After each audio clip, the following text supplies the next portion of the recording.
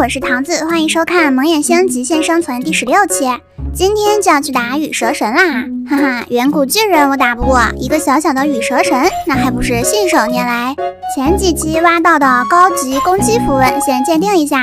羽蛇神拿弓箭打，所以我要鉴定出两个无限射击。要是没出的话怎么办呢？那有存档大法呀，不愁不愁。这不，马上就出了两个无限射击啦。还有一些别的属性，应该够我们用啦。拿出家里的材料做两把铸铁短弓，然后再升级成弩，做上两把，一人一把。然后给弩附一下魔。第一个嘛，肯定是无限射击；第二个来个弓箭伤害；第三个也没有什么好的属性了，就附魔一个狩猎幸运吧，说不定能给我爆出三个神圣树种子呢。第二把也是一样的属性吧。来来来，阿狸，喏，给你。话不多说，让我们直接出发吧。差点我就忘了，要带一个星战还有核心才能出门。这样我们找到了神庙，就可以直接激活啦，那是相当的方便。米拉星的出生点附近就有一大片的雨林，来这里面找一下有没有神庙。这片雨林是真的大呀，幸亏我有二级的小飞鼠，可以飞到树顶上，更快的找神庙。打开小地图，旋转一下，看见了，是有一个神庙的，应该是在这个方向。找到了，没想到这么快就找到了，下来看看到底是真是假吧。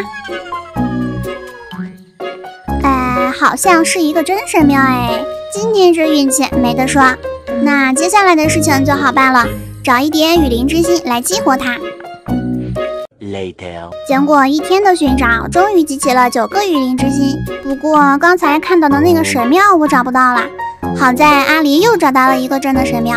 这片雨林里存在着两个真神庙呀，桃子我还是第一次遇见呢。从家里带了黄铜锭，直接合成雨林之眼激活。来找一个高一点的地方欣赏一下，一座神庙拔地而起，太壮观了。羽蛇神，我们来啦！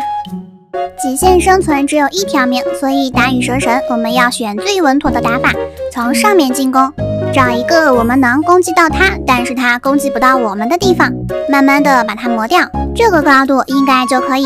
羽蛇神怎么躲在这么一个小角落呢？打着打着，他就跑到里面去了。哎，羽蛇神，你倒是出来呀！藏在那个小角落里算什么英雄好汉嘛？有本事出来跟我们打！没办法，那我只能往下几层了。这个角度刚刚好，看你还能藏到哪去啊？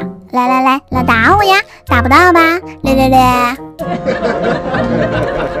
最后一击是被阿狸拿下了。羽蛇神离岩浆还挺近的，快去看看我的战利品有没有掉到岩浆里。哦，好多的祭司呀，吓我一跳。先把他们解决掉。雷电晶核、神圣树种子、蛇神之羽，一个都没少，太棒了！把这里的怪清一下，准备开始打扫战场啦。好啦，那本期视频就到这啦，咱们下期再见哦，拜拜。